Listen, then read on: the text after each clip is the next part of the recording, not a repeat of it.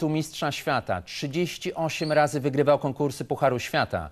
Triumfował w turnieju czterech skoczni. Miał już olimpijskie srebro i brąz.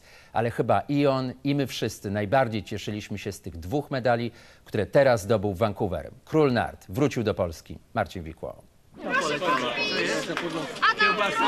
Kibice i dziennikarze zazwyczaj krzyczą do niego dalej Adam, dalej, ale dziś było nieco inaczej. Bo każdy choć przez chwilę chciał spojrzeć na dwa srebrne medale, które Adam Małysz przywiózł z olimpiady w Vancouver. Od tylu lat e, skaczę na nartach. Tyle lat narty przynoszą mi wielką frajdę. E, są moim całym życiem. i wysokich lotów, Adam. Tym skokiem Adam Małysz zapewnił sobie w Kanadzie drugie olimpijskie srebro. Ale kibice kochają go nie tylko za zwycięstwa, byli z nim także kiedy nie szło.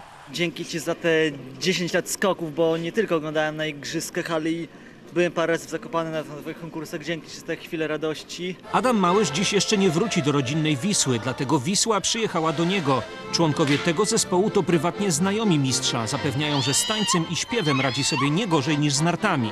Dobrze, bardzo tańczy, fajnie, podśpiewuje. Jest, jest okej. Chłopak mi się wydaje, że jest dobry, normalny. Ja jestem niezmiernie zadowolony, że, że mogłem przynieść tyle radości nie tylko sobie, ale i Polakom tam mieszkającym i mieszkającym u nas w kraju, oglądającym przed telewizorami. Drugą serię skoków w konkursie na średniej skoczni, kiedy Adam Małysz zdobywał pierwsze olimpijskie złoto, oglądało w jedynce ponad 8,5 miliona widzów. Tydzień później już prawie 9,5 miliona telewidzów śledziło w jedynce zmagania naszego mistrza na dużej skoczni.